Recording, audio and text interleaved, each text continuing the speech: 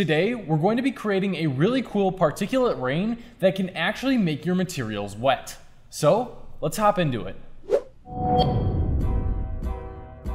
Hello everybody and welcome back to another episode of CGC Weekly here on the CG Cookie Blender Training YouTube channel.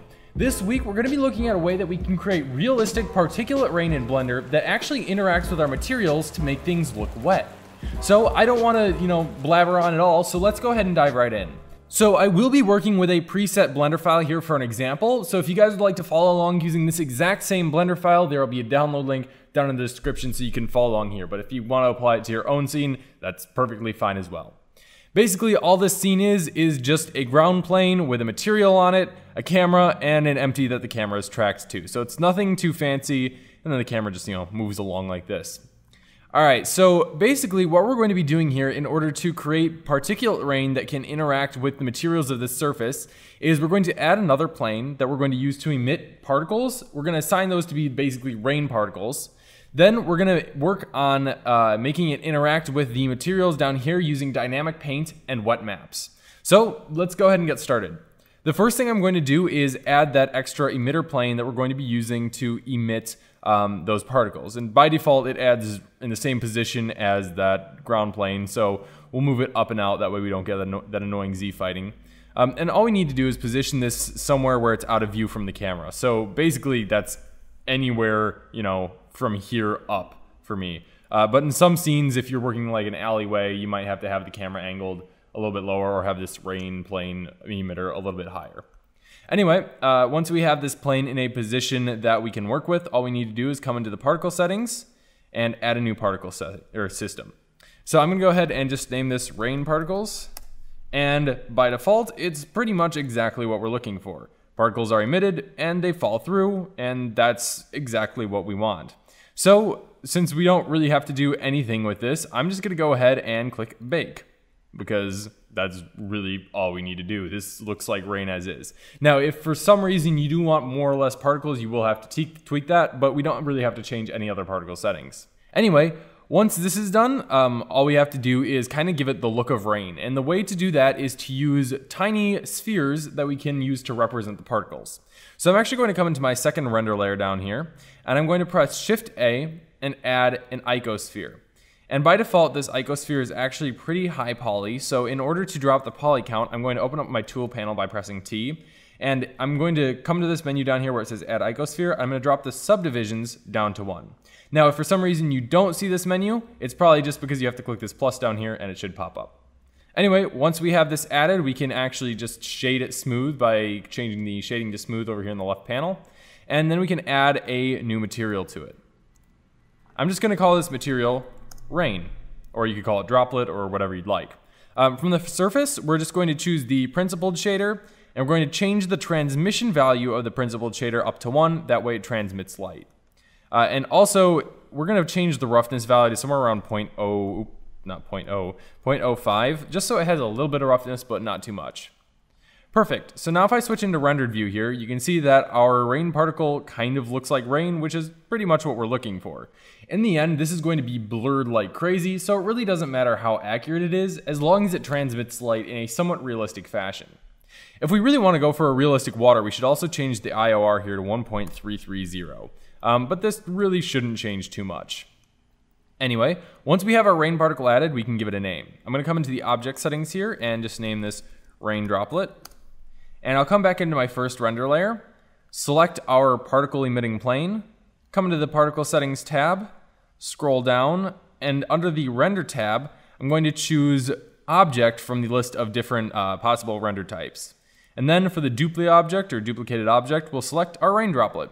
And just like that, we have a bunch of big honking rain droplets falling. So these are a little bit too big, so I'm going to drag the scale down a little bit here to something that's a little bit more reasonable. Uh, it's going to be really hard to get a, a, good size for these. If for some reason you can't lower the slider less than 0.1 by clicking dragging, so uh, or sorry 0.01, so you will have to manually type in numbers every once in a while. Yeah, so for me, a scale of 0.005 works pretty well. We can also give these particles a random size just by clicking on the random size and changing it to somewhere around 0.5. That way we get a little bit of size variation among the rain droplets. Of course, this really won't matter too much because they're moving very fast and they're just going to be covered in motion blur. Great, so now that we have our rain particles emitting, it's time to start working with these and the ground plane to make the two interact with each other. In this case, I'm going to go ahead and select the ground plane. I'm going to come into the Physics tab over here on the right and select Dynamic Paint. I'll add a canvas object and I'll change the format to paint. By the way, dynamic paint is a really cool feature in Blender. I actually made a video a while back going over like the general overview of dynamic paint. There will be a card up there, or maybe it's, no, it's over there. Yeah, it's over here. So anyway, um, what is it? Once we have this uh, image sequence dynamic paint canvas loaded up here, um, we won't have to worry too much about the resolution because honestly, the resolution is, we're just gonna do a preview, I guess, first. Um, we'll leave anti-aliasing enabled, uh, and then all we really need to do is come into the Dynamic Paint Advanced settings, disable drying, that way when the rain particles hit, they don't dry up after a few seconds because rain doesn't typically do that. Um, and then we'll also come down to the Dynamic Paint effects here, and we have three different effects. We have spread, drip, and shrink. We'll use spread because we want these particles to hit, and then we kind of want their water to spread out a little bit, uh, like they would in the real world. So we'll change the spread speed to somewhere around 0.02. We want this to be nice and slow because a high number will just make it just blah, like go crazy. Um, anyway, we pretty much have our canvas object set up, at least for a preview. So now let's go ahead and add our dynamic paint brush object, which in this case is going to be our plane up here. So we'll select dynamic paint, we'll change the type to brush and add a brush object. And then instead of using the mesh volume as our dynamic paint source, right, the thing doing the painting, we're going to use the particle system. And basically, we can assign these particles to act as though they are the dynamic paint brushes by doing this. So from the particle systems here, we'll select our particle system, and we'll also change the radius down to something very small. Now, I don't have any specific units set up in this scene, so I'm gonna have to kind of play around with it, but 0.05 might work well. Actually, no, 0.03 would probably work better. Um, and then we'll also have the smooth radius. Usually I set the smooth radius to be about one third of that of the uh, particle solid radius. So in this case, one third of 0.03 is 0.01. So that value should work pretty good for me. So let's go ahead and give this a test. Uh, I'm going to come back into the dynamic paint brush object and I'm going to drop down the dynamic paint output. All right, so one thing you do have to make sure that you do with your uh, ground plane or whatever is receiving the wetness is that it has to be UV unwrapped. Otherwise, this just won't work at all. So I'm going to go ahead and select a directory for this to output to. In this case, I'll just create a folder in this directory with the tutorial and just call this um, wet map. You can call it whatever you'd like, just something you can remember. Um, and then I'm going to uncheck the box that says paint maps and check the box that says wet maps. Additionally, I'm also going to change the substeps up to somewhere around five. Basically what substeps do is they add extra calculations in between each frame because sometimes when you're working with something, for example, if you watch some of these rain particles, you'll notice that between two frames, a particle will jump entirely across our plane here. That was a bunch of spam over here on the left. Um, but yeah, our particle will jump across the plane and it won't, you know, per se, interact with it at all. So by adding these substeps, we can basically add smaller iterations in between our frames for which the physics simulation will be calculated. Anyway, I set substeps to about 5 for the preview at least, and all I'm going to do now is hit Bake Image Sequence. And up here at the top, you can see our image sequence starts baking. As you can see now, it just finished. My bake is complete. Only took about 9 seconds, so now I'm going to go ahead and look at our bake to see how it came out. All right, so I'm in that same directory where I saved it to, and you can see I have my wet map folder here. And inside are a bunch of images full of white dots. And each of these white dots is when a particle collides with our ground plane. So this kind of gives you a decent idea of what's going on when it rains. Basically, this is these are rain droplets hitting our ground. So I want to go ahead and actually preview this on our 3D scene in Blender here. So I'm going to open up our node editor here, which I already had open. If you closed it or if you didn't have it open, go ahead and open up the open up the node editor. Um, and we'll press Shift A, select texture, and select image texture. Then we'll click open and navigate to wherever our wet map is saved. Now we don't want to open any specific image, we want to open the entire image sequence. So in order to do that, I'll just press A twice to select everything and select open image. Then I'll connect the color output just to the base color input of our principled shader for now, and I'll check the box that says auto refresh. Now if I switch into render view here, you can see that as the animation plays, our particles begin to collide with our uh, ground plane here and they begin to do stuff. Now, as you can see, our particles are pretty dang small and our rain droplet spots are way too big. So I'm gonna have to tweak these to make these a little bit smaller. So I just went ahead and fixed the scale to make these hopefully a little bit smaller and I'm baking again. Once it's done, I should just be able to move through the frames again and see the final result. And that looks much better. We don't have those huge, huge particles anymore. Um, so the exact numbers I used for this were 0.01 and 0.003, so that kind of gives you an idea of what to use for this scene. Another thing that's kind of important is if you're using micro displacement or adaptive subdivision at all, make sure that you move that modifier below the new dynamic paint modifier that we just added in the modifiers tab. So this ground plane I used uh, micro displacement on, right? And I used adaptive subdivision. So in order to make it actually appear, I have to make sure that the subdivision surface modifier is the last thing in my modifiers list. Perfect. Well, since we're actually getting some pretty good results, I'm gonna go ahead and bake the final result. And in order to do that, I'll select our ground plane again. I'm going to come into the physics properties, and this time, where it says our resolution is 256 by 256 pixels, we'll change this up to something like 1024 and hit bake once again. Now this will take significantly longer because it's a lot more data that it has to process, but the end resolution will be significantly higher than our, well, bucket of pixels that we have right now. All right, and our second bake just completed in 140 seconds just a little bit over two minutes. So now if we go ahead and scrub through, you can see we have nice, smooth circles wherever our raindrops are, which is absolutely perfect. Now, if for some reason you are noticing that a lot of particles are passing through and they're not leaving any sort of, you know, um, mark on the ground plane, try increasing your substeps. That way you have more of those in between frame calculations. Great, so now let's go ahead and start working on the materials. I'm gonna switch into rendered view over here once again. That way we can get a you know live preview of our materials. And I'm also gonna switch into camera view because it's always best to view your materials from camera view. That way you can get an idea of what they actually look like from the camera. At least that's a little bit of psychology that I like to keep while working. Anyway, I'm going to disconnect our image texture from the principled shader and reconnect our um, color map and ambient occlusion map that have been mixed together.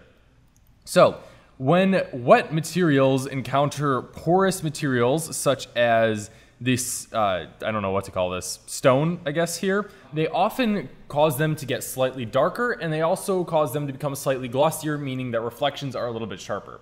So we're going to be modifying these two texture maps in order to integrate our shader here. And if you saw my video on wet maps where it was just like a general wet maps video, we also went over the same exact technique. So if you watched that video, you probably already know this, but you know, might be worth the refresher. Anyway, in order to do this, I'm going to add two color ramps. So I'll press Shift A, come down to Converter, and select Color Ramp, and then I'll just duplicate that by pressing Shift D and moving it up. I'll hook up the color output to the color ramp inputs, and I'll also change the color or the image texture uh, data type or color space. Anyway, uh, to non-color data. Perfect. So now what I'm going to do is I'm going to add a hue saturation value node. This is under color and then hue slash saturation.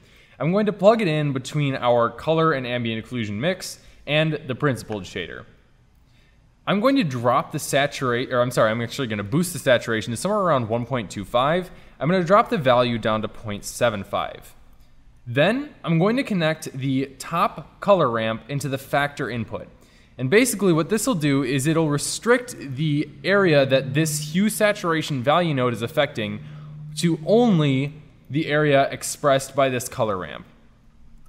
Now, I don't quite see any specific droplets. Oh, there you go. You can kind of see them now. Um, but they still don't stand out very much. So I am actually going to boost the saturation to maybe 1.4. That looks a little bit better. I don't want to drop the value too much lower though, maybe 0.7.